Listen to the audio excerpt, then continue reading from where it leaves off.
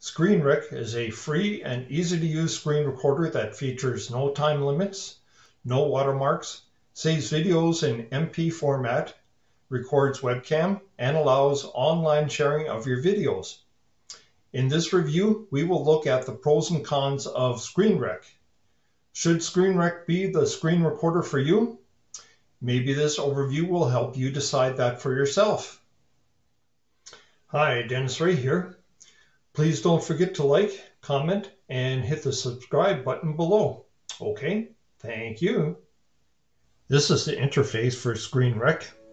The first thing I recommend doing is to hit this bar, sign up for a free account, and there are some important advantages to having an account that make it worth it. You'll be asked for email address, and that will be your username. Uh, you won't get any spam email I haven't so far.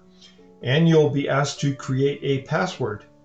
When you have an account and you're logged in, you will have no time limits on recordings. Otherwise, it's five minutes. You can share your videos, record in high definition. You won't have a watermark, and it's still free. Now, the website says it's free forever, but this little note, free grace period, raises a question about that. But at least it's free for now until the developers change their minds. We said ScreenRec is easy to use, and this is why. It doesn't have very many settings. These are it. Microphone input device, where you can select which microphone you want to use if you have more than one. If you have more than one camera, you can make your selection there. Record system audio off or on. Recording quality, standard definition or high definition. You can make a shortcut or use the default Alt plus S. Instant share link, if you can just leave this on off, it'll make it easier to download your video. And use proxy server, it's better just to leave that off. On the side we have a toolbar and this could be moved to the top of your screen, to the bottom, or on the side, wherever you want it. it can be pinned or unpinned. And back again. This button is to take screenshots, and yes, this is a great, great screenshot app that allows you to add annotations, uh, re rectangles, arrows, even text to the image this button allows you to start and stop the video recording. This button allows you access to the cloud where your videos are saved automatically. And this button allows you access to the interface. Dennis, can you show us how to do a recording with ScreenRec? Why, certainly. I turned off the webcam. I recorded the intro to this video using ScreenRec uh, with my eMeet C960 webcam. I did a review of the eMeet C960 not long ago, and I'll put a link for it in the description below. To start a recording, you go to the toolbar, hit the icon that looks like a video camera. When you do that, you'll get this cross, and you use this to select the portion of your screen that you want to record. Now in my case, I want to record full screen, so I start from one corner and move it to the other corner.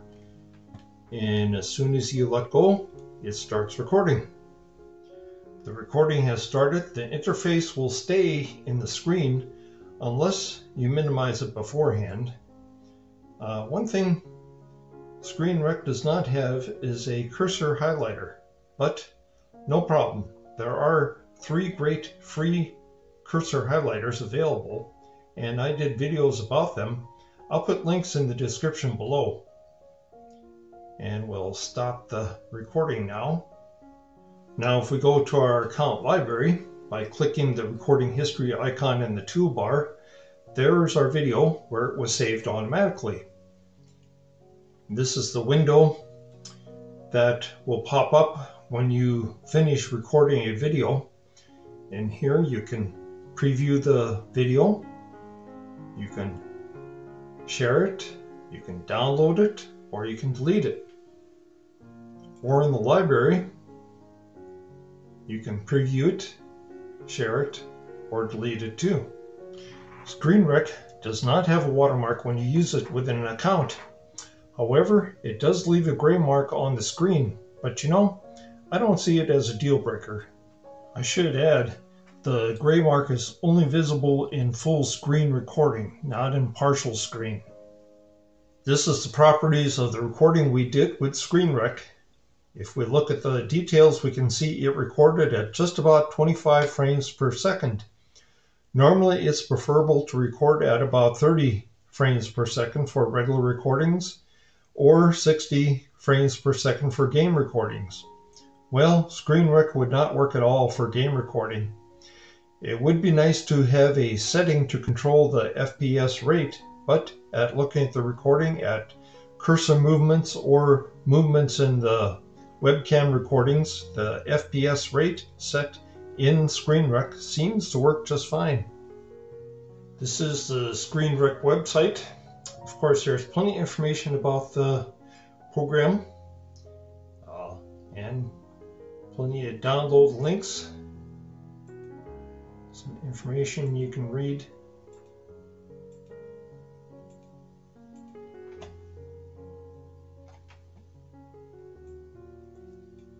And you can use ScreenRec with Windows or Linux or Mac. Here's another website, and I'll put links for these websites in the description below. Uh, plenty information on this website too, even a video you can watch.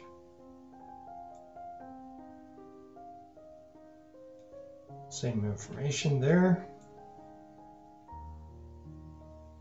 System requirements.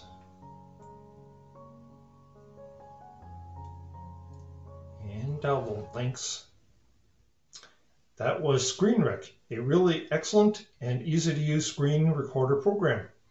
Thank you for watching. Be sure to like and subscribe. See you.